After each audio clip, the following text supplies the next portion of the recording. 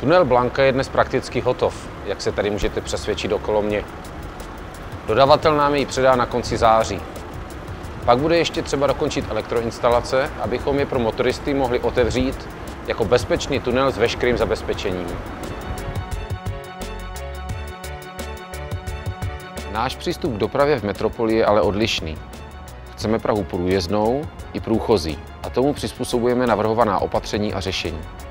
Ta budou přínosná pro chodce, motoristy i cyklisty. Město do budoucna nebude mít desítky miliard na megalomanské stavby. Budeme proto investovat chytře a efektivně. Postavíme nové silnice, které přispějí k průchodnosti města. A soustředíme se také na opravy komunikací, které jsou ve špatném stavu a které ničí naše auta.